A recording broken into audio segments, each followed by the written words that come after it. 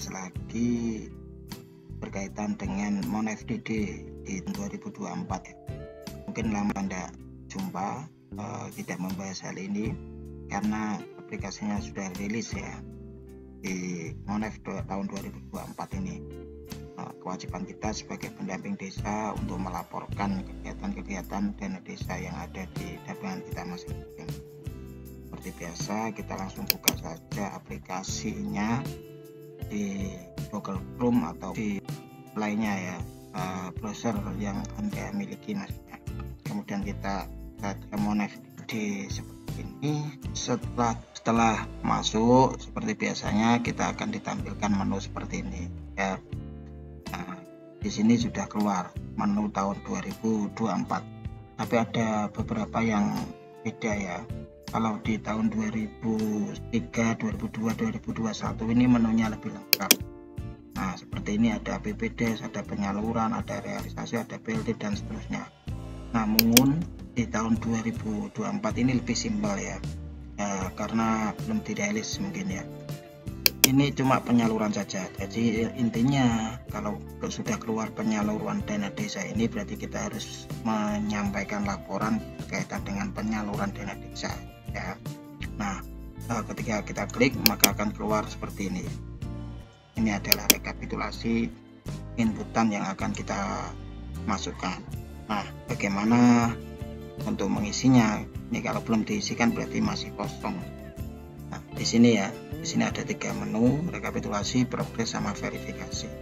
Kita klik saja di progres ini ya di progres ini nanti akan keluar dampingan kita masing-masing ya sesuai dengan dampingan kita masing-masing.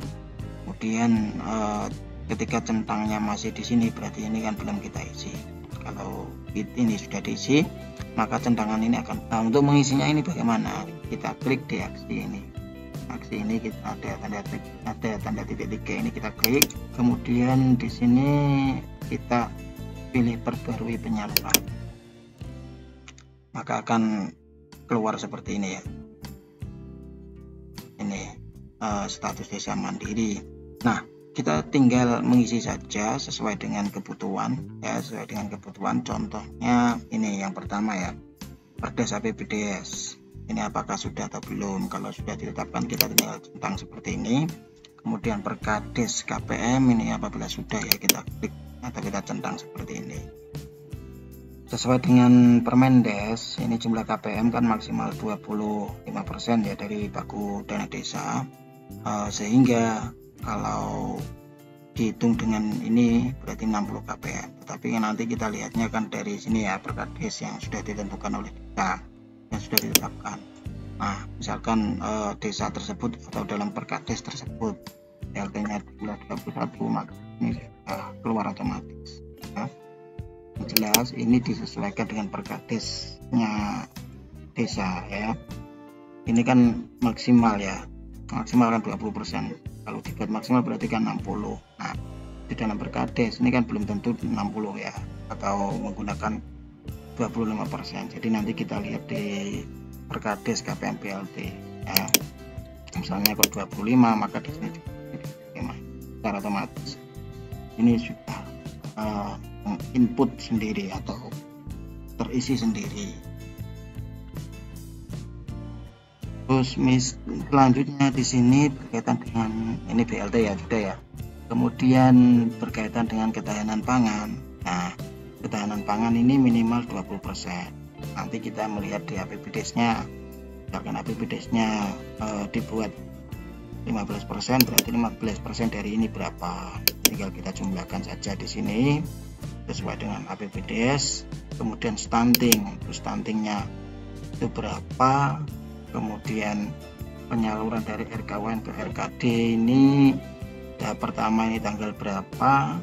BLT nya berapa? Ketahanan panganan berapa? Stuntingnya berapa? Jadi data yang kita perlukan adalah ini ya. Tanggal BLT nya berapa? Ketahanan pangan berapa? Untuk stuntingnya berapa? Ini aja agak mudah kan dibanding dengan sebelumnya. Ini untuk tahap 2 kemudian untuk seluruh BLT nya ya, total seluruh BLT-nya penggunaan BLT-nya nanti ini sudah otomatis terekam kalau ini sudah direvisi ya. Ada kemudian ada intensif desa tanggal penyaluran berapa nomornya berapa. Setelah ini data-data ini sudah kita kantongi sudah kita isi kemudian kita submit. Ini karena beberapa kolom belum terisi maka belum bisa mengaktifkan tombol submitnya.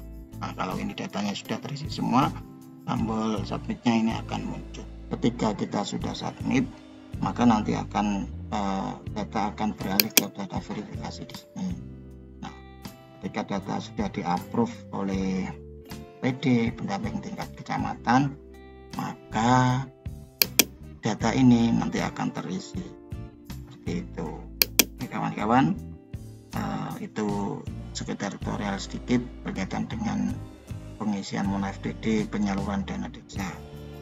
Sampai ketemu di lain waktu di lain kesempatan. Salam berdesa